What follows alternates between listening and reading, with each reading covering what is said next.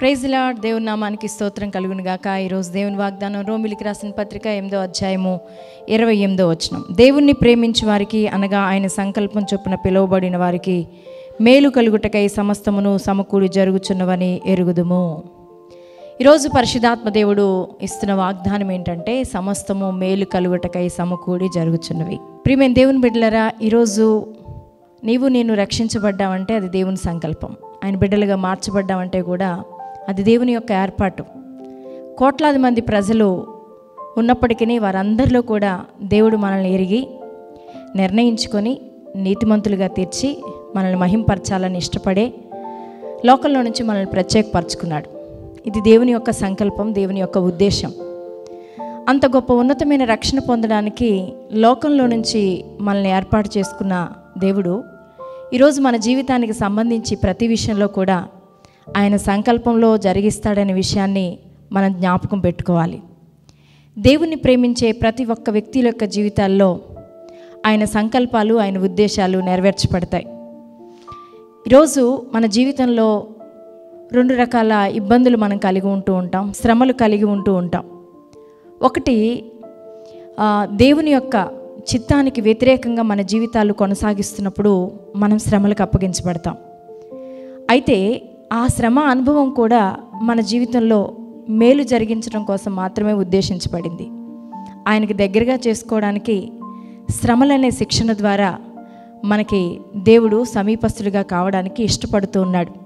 అందుకే కొన్ని సందర్భాల్లో రోగాలు శ్రమలు సమస్యలు శోధనలు ఇవన్నీ కూడా మనకి దేవునికి దగ్గరగా చేస్తూ ఉంటాయి. అదే రీతిగా దేవుని యొక్క సంకల్పాలు ఉద్దేశాలు మన జీవితంలో నెరవేర్చబడాలంటే మనం కొన్ని రకాల శ్రమ అనుభవాలు గుండా వెళ్ళాలి. ఆ శ్రమ అనుభవాలు మన జీవితాల్లో విజయ సోపానాలుగా ఉన్నతమైన దేవుని కార్యాలు పొందినట్లుగా జరిగిస్తాయి. బైబిల్లో మనం యోసేపును చూస్తాం. యోసేపు పట్ల దేవుడికి ఒక అద్భుతమైన ఉద్దేశము ప్రణాళిక ఉంది. అద్భుతమైన ఉద్దేశంలో ప్రణాళికలో ప్రపంచానికి మొత్తానికి కూడా ఒక అద్భుతమైన ఆహారాన్ని అందించే ప్రక్రియలో యోసేపును దేవుడు వాడుకున్నాడు. తన ప్రజల యొక్క సంరక్షణ కొరకై దేవుడు ఉద్దేశించి యోసేపును అనేక శ్రమల గుండా నడిపించాడు. కానీ అవన్నీ కూడా మేలు కొరకు జరిగించబడిన కార్యాలు.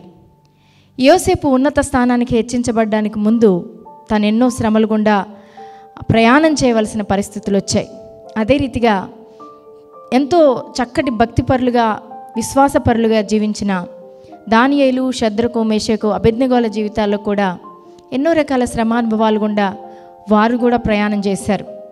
కానీ వారికి వచ్చిన ప్రతి శ్రమలో వారి యొక్క ఉన్నతమైన హెచ్చింపు మనకు కనబడుతోంది.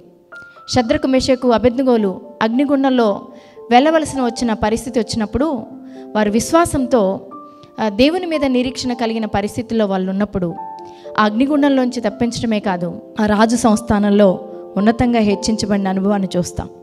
కాబట్టి ఈరోజు నీ జీవితంలో ఏ రకమైన శ్రమానుభవం గుండా వెళ్తున్నా దేవుని యొక్క సంకల్పంలో ఉన్న నీ జీవితంలో మేలు కలుగుటకు సమకూడి జరుగుచున్నవి. ఇది నువ్వు గుర్తుపెట్టుకోవాలి. కాబట్టి ఈరోజు ఏ బాధ ఏ శ్రమ ఏ కష్టం నీ జీవితంలో ఎదురైనా ఒకటి దేవునికి నిన్ను చాలా సమీపస్తుడిగా సమీపస్తురాలుగా చేయడానికి ఇష్టపడుతూ ఉన్నాడు.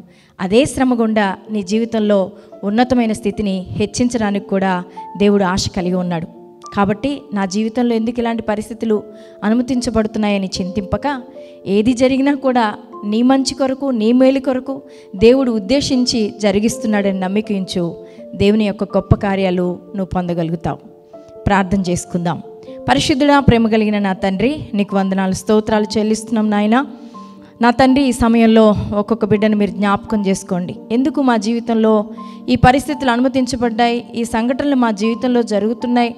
అని ఒకవేళ కంగారు పడుతున్నారేమో ప్రతి విషయంలో కూడా వారి జీవితంలో మీ సంకల్పం చొప్పున జరుగుతున్నాయనే ఉద్దేశాన్ని వారు గ్రహించి విశ్వసించి ప్రభా నా తండ్రి వారి జీవితంలో మేలైన గొప్ప కార్యాలు పొందుకున్నట్లుగా ప్రతి ఒక్క వ్యక్తిని కూడా మీరు దీవించి ఆశీర్వదించమని ప్రార్థన చేస్తున్నాను. ప్రతి కుటుంబానికి రక్షణ దయచేయండి శాంతి సమాధానం నెమ్మది దయచేయండి శరీరాల్లో ఆరోగ్యం దయచేయండి వారి కుటుంబాల్లో ఆశీర్వాదం దయచేయండి వ్యసనాల్లో పాపబంధకాల్లో ఉన్న వారికి విడుదల దయచేయండి ప్రభు.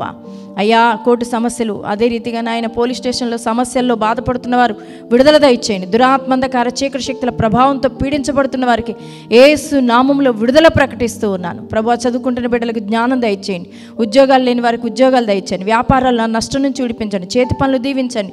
వ్యవసాయాలు దీవించండి ప్రభు నా తండ్రి నాయన కుటుంబంలో వ్యక్తులను కోల్పోయి ఆదరణ లేకున్న వారికి నెమ్మదిని దయచేయండి నా తండ్రి. అయ్యా నా తన వివాహాలు కావాల్సిన బిడ్డలకు వివాహాలు దయచేయండి. గర్భఫలాలు లేని బిడ్డలకు గర్భఫలాలు దయచేయండి. నీ సేవలో నాయన నీ పరిచర్యలో వాడబడాలనుకున్న ప్రతి ఒక్కరికి ఉన్నతమైన జ్ఞానం ఇచ్చి వాడుకోండి. పరిచర్య చేస్తున్న నీ సేవకుల కుటుంబాలను మీరు దీవించి ఆశీర్వదించమని వేడుకుంటూ ఈరోజు పుట్టినరోజు పెళ్ళి రోజున ఎంతమంది జరుపుకుంటున్నారో వారికి శుభము మేలును కలగజేసి ఈ సంవత్సర కాలం అంతా కాపాడమని. ఏసునామంలో ప్రార్థిస్తున్నాను పరమ తండ్రి. ఆమెన్.